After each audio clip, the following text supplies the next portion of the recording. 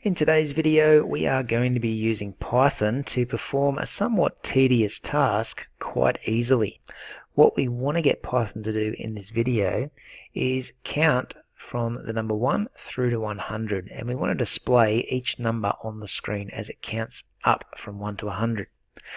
Okay, so what we're going to be doing, instead of doing what we usually do to print stuff on the screen, where we write print 1, print 2, you can see how long this is taking, print 3.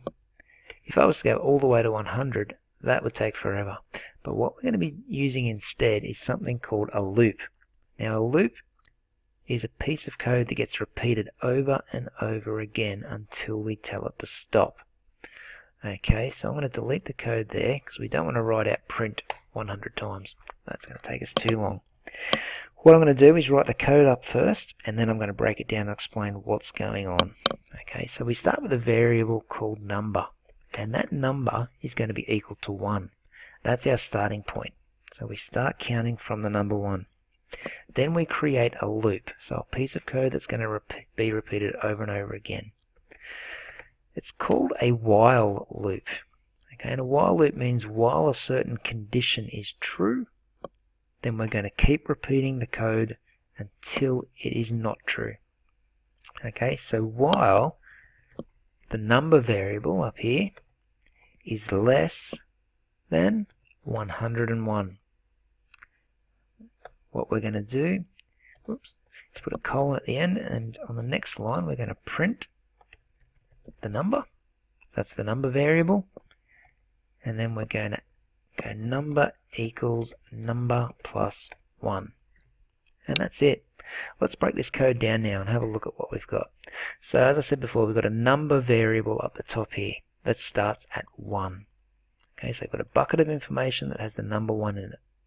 That's our starting point.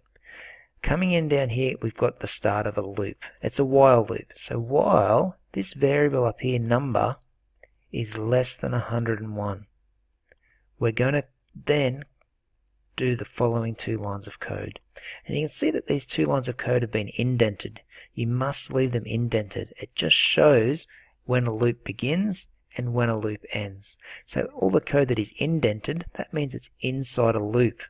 And these are the pieces of code we want to loop over and over again until we tell it to stop.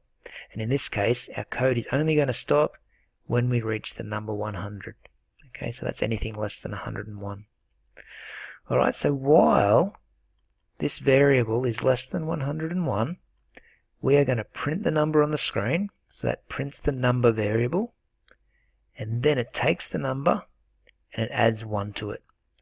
Okay, so it starts on the number 1. So we print the number 1 on the screen. Then we just add 1 to that. So we get the number 2 our code loops around and we come back to here and we print the number 2 on the screen.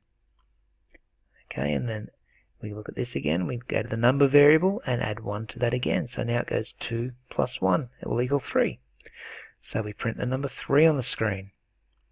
And then the next time around will be 4, and then 5, and 6, and so on.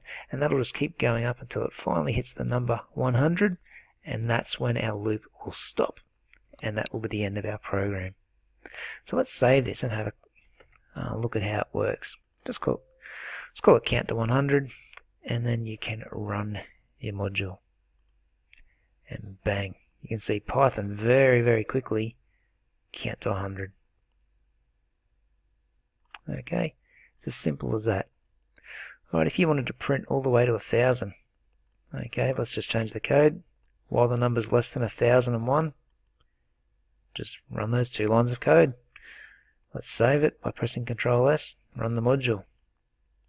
And bang. You can see it counting all the way to a thousand very, very quickly. Okay, it saves us a lot of time rather than writing the word print 1, print 2, print 3, all the way to a thousand. Stuff that. We'll just do it in four lines of code. Okay, so it's a very simple way to repeat a piece of code over and over again until you want it to stop. Use that while loop. So while a certain condition is true, that one there, complete these few lines of code. Alright, so hopefully that makes a little bit of sense. I'll save that up there now and I'll see you in the next video for some harder stuff.